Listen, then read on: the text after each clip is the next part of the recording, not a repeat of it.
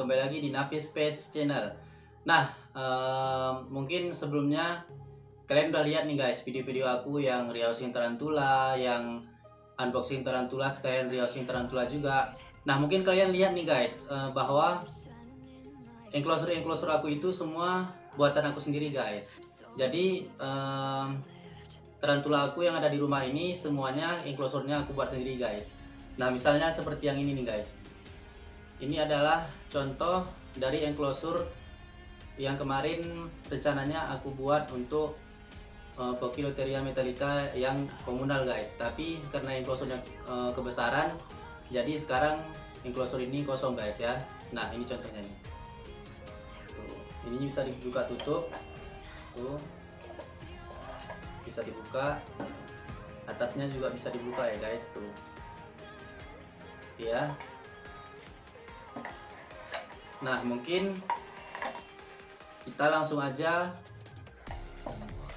uh, buat bagaimana cara membuat enclosure seperti ini ya guys. Tapi, tapi ini adalah untuk jenis tarantula terestrial ya guys. Jadi uh, hari ini kebetulan aku ingin rehousing salah satu tarantula aku yang mana enclosure-nya udah uh, lumayan sempit guys. Jadi uh, kali ini aku ingin membuat enclosure untuk tarantula aku yang jenisnya adalah Grammostola pulchripes guys. Di mana Grammostola pulchripes adalah tarantula jenis uh, terestrial atau jenis tanah.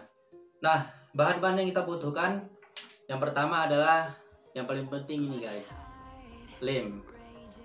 Ini kebetulan udah mau habis jadi aku pakai yang ini mungkin nanti. Kemudian kaca guys. Kaca ya langsung kita buka kacanya nah ini kacanya aku beli guys di toko kaca. Sedangkan untuk merakitnya aku rakit sendiri guys. Kebetulan ini ukurannya lebar 20 panjangnya 30 cm dan tingginya 15 cm guys.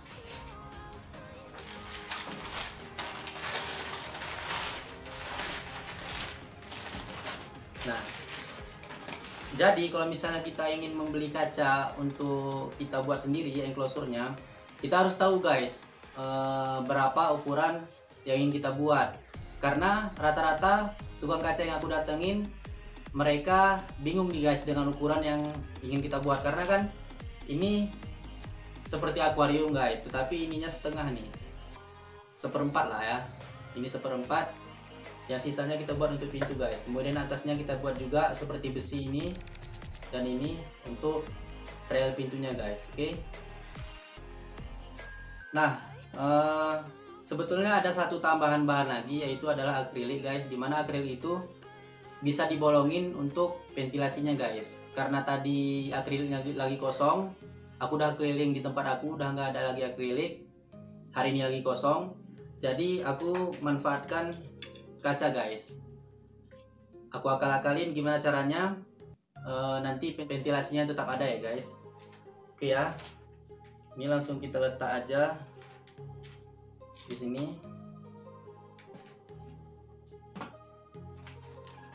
Kita letak pelan-pelan guys.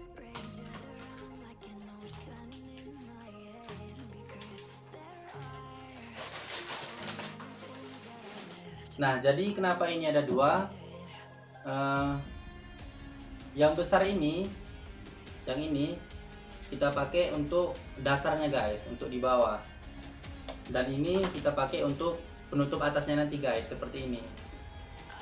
Nah ini tutup atas ini. Oke. Okay. nah. Uh, mungkin langsung aja. Oh iya satu lagi guys. Ini. Jadi besi letter U ini uh, kita pakai untuk rel pintunya guys. Sama rel atasnya ya guys. Jadi nanti ini pemasangannya terakhir guys. Nah seperti biasa untuk memasang enclosure ini atau merakit enclosure ini sama seperti kita membuat akuarium guys. Yang pertama kita taruh dasarnya dulu di sini. Tapi sebelum kita ngelem uh, kita taruh uh, alasnya dulu ya guys supaya mejanya nggak kotor oke? okay? Nah kita taruh plastik ini aja. Kita taruh plastik. Kemudian kita taruh yang paling yang kaca untuk di bawahnya. Di bawah guys. Tuh. Oke. Kemudian yang pertama sekali adalah kita susun dulu nih guys.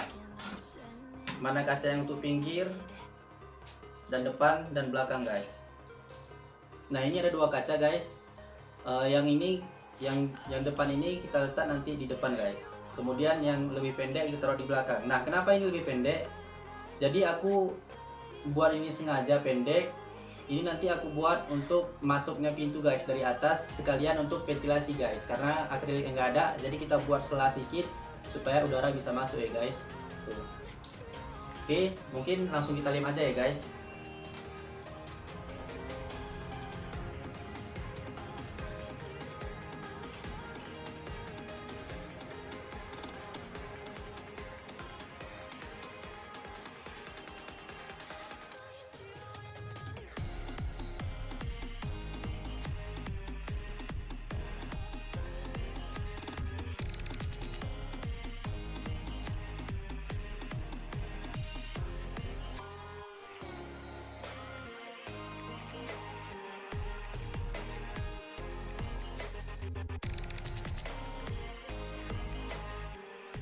Nah, jadi teman-teman eh, pertama kita pasang samping dulu ya, kemudian yang di depan. Nah, setelah kita lem eh, satu sisi samping dan depan, kita tunggu beberapa menit guys sampai lemnya kering. Nah, setelah itu baru kita gampang untuk ngelem yang sebelah sini dan belakang guys. Dan kemudian setelah itu kita tunggu kering lagi, barulah kita pasang relnya guys untuk pintu atas. Kebetulan uh, ini aku cuma buat pintu yang bisa dibuka dari atas ya guys. Nggak seperti ini. Kalau yang ini bisa dibuka uh, depannya bisa dibuka kemudian yang atasnya juga bisa dibuka guys. Tapi untuk yang ini aku cuma buat pintunya bisa dibuka dari atas guys. Yang mana pintunya ditarik nanti ke belakang. Ini adalah bagian depan ya guys. Oke. Mungkin akan kita tunggu sekitar 20 menit ya guys kemudian akan kita lanjut untuk ngelem yang sebelah sini guys dan belakang. Oke kita tunggu 20 menit. Oke teman-teman semuanya eh, kebetulan ini udah lewat 20 menit dan lemnya juga udah eh, kering ya guys. Tuh bisa kalian lihat. Nih. Eh, kita akan lanjutin untuk ngelem sisi kanan dan belakang ya guys aku letakin kamera dulu oke? Okay?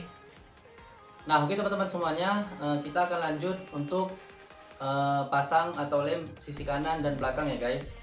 Nah kebetulan uh, sebelah kanan ini udah aku lem ya guys. Nah jadi sebetulnya cara untuk lem atau memasang kaca ini banyak guys. Bisa dari samping kanan dulu baru depan belakang atau depan belakang dulu baru kanan. Nah tetapi cara yang biasanya aku gunakan yaitu aku uh, pasang uh, bagian kiri dulu kemudian depan dan selanjutnya kalau udah kering baru aku pasang sebelah kanan dan belakang guys. Nah itu cara aku sendiri. Nah untuk uh, lem untuk kita taruh lem di sini supaya enggak kena meja guys. Nah kita berdiriin dulu nih. Kita berdiriin dulu baru kita taruh lem guys. Kebetulan ini tadi udah aku taruh lem uh, lemnya. Tinggal pasang bagian kanannya guys. Oke kita letak lagi nah untuk bagian sininya kita lemnya bukan di sini ya guys tapi kita lem di bagian sini kemudian kita tempel ke sini guys oke kita kasih lem dulu ya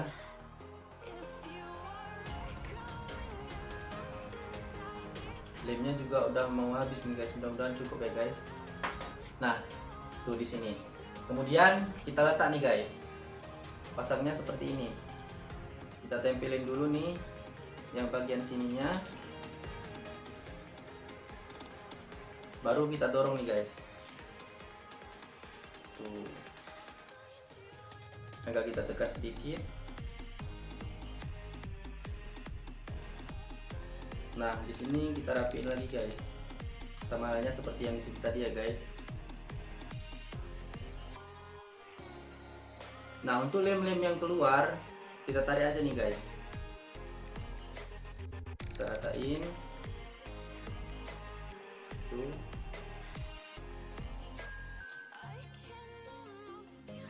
ini kayaknya belum rapat guys oke udah ratain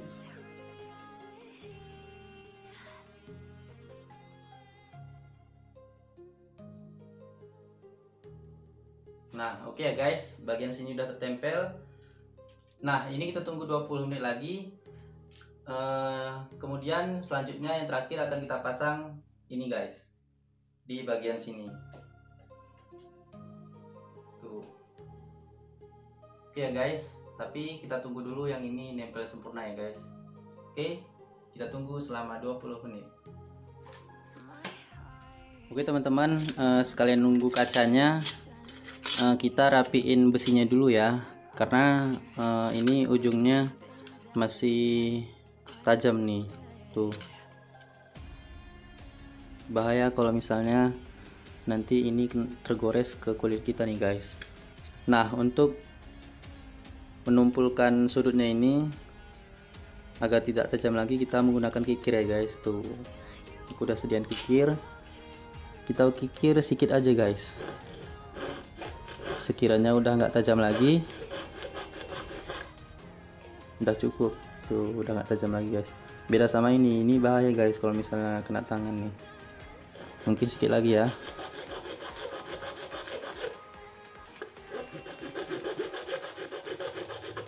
oke kita halusin semua nih sekalian supaya nanti kita tinggal masang ya guys Silas. Hmm.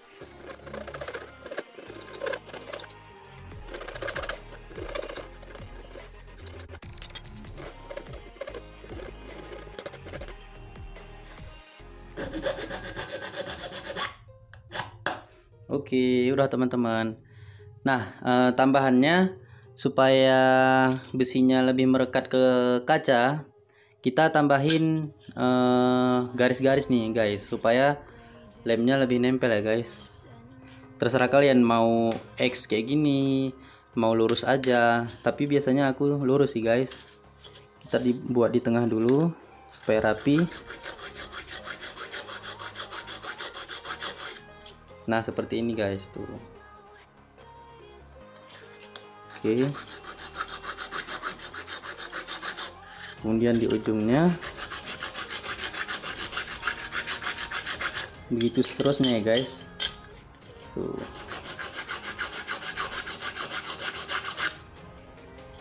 Nah ini juga begitu. Tengahnya dulu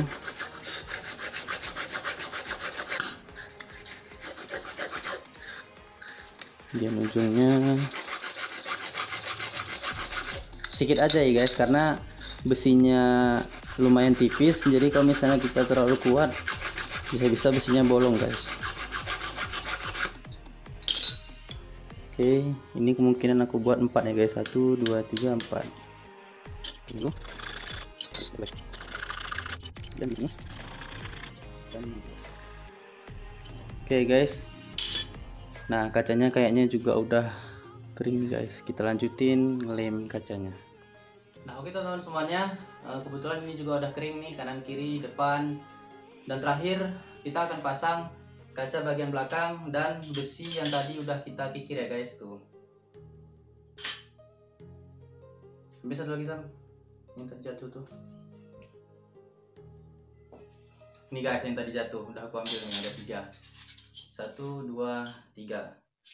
Yang pendek ini kita nanti letak di samping sini guys. Di sini. Dan untuk yang panjang kita letak di sini guys. Oke, tapi sebelumnya kita akan pasang kaca yang terakhir guys, kaca bagian belakang. Nah caranya sama seperti tadi, kalau misalnya yang samping kita berdiriin ke atas, kalau yang belakang gitu juga guys, kita balikin ke depan.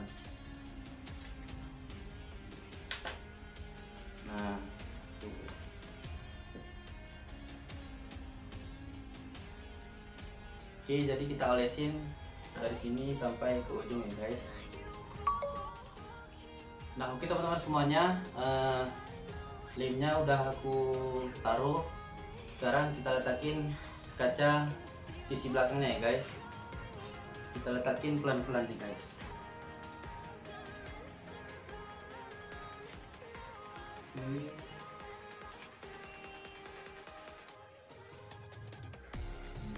kita rapikan kemudian kita tekan ya guys. Tekan. Pelan aja ya guys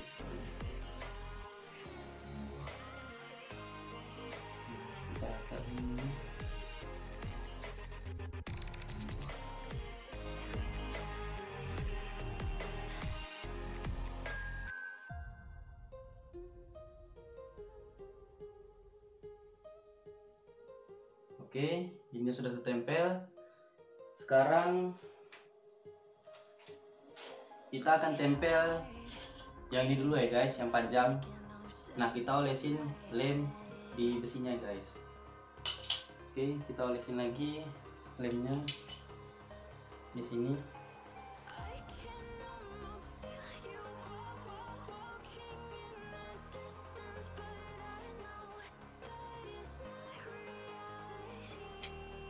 Oke, yang ini kita letak di bagian depannya ya guys. Bagian depannya yang ini guys. Kita sini tengah-tengah. Kemudian guys.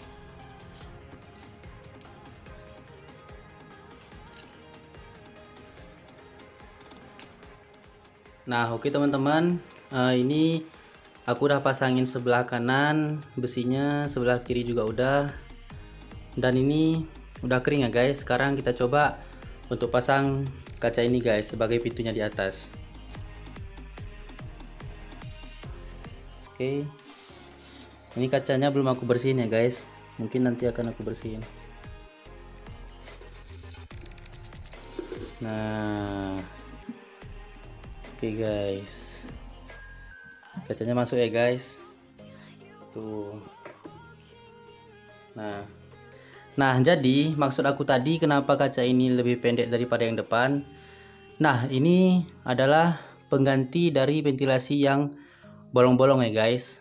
Jadi aku buat ventilasinya sebesar ini karena kebetulan tarantulanya juga udah besar dan nggak mungkin tarantulanya bisa lepas ya guys. Jadi uh, ini adalah cara aku untuk buat ventilasi guys karena kebetulan kacanya nggak bisa dibolongin. Bisa sih dibolongin, ada bor khususnya guys. Cuman tadi di tempat kacanya lagi nggak ada bornya guys. Jadi aku akal-akalin cara buat ventilasinya adalah kayak gini guys. Nah tarantula yang mau aku pindahin ada di sebelah nih guys. Tuh. Nah jadi inilah tarantula yang akan aku pindahin ke sini guys. Tuh kalian lihat tuh kandangnya oh, udah lumayan sempit ya. Nah tapi untuk rehousingnya Eh, nggak uh, aku lampirin di sini ya guys. Mungkin reusingnya akan kita buat di video selanjutnya. Oke guys. Habis ini aku akan nunjukin ke kalian enclosure enclosure yang udah aku buat guys. Nah oke teman-teman semuanya. Inilah enclosure enclosure oh tinggal satu guys. Tinggalan nih. Oke. Okay. nah inilah enclosure-enclosure yang udah pernah aku buat ya guys. Nah bisa kalian lihat tuh kalau yang itu belakangnya aku pakai akrilik guys. Jadi uh, aku nggak ada buat sela-sela untuk ventilasi lagi karena akriliknya udah aku bolong-bolongin guys seba uh, sebagai ventilasi. Nah inilah uh, bisa dibilang inilah karya-karya aku guys. Ya walaupun nggak seberapa sih.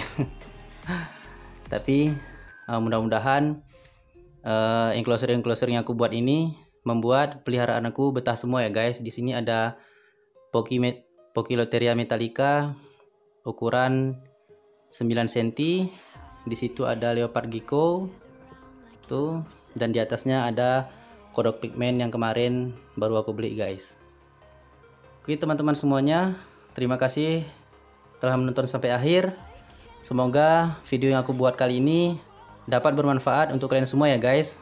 Dan semoga cara-cara yang aku buat tadi bisa kalian terapkan di rumah kalian ya guys. Oke. Tonton terus video-video terbaru dari kita. Dan jangan lupa support terus channel ini dengan klik tombol like, comment, share, dan subscribe ya guys. See you next time. Sampai jumpa di video selanjutnya. Dadah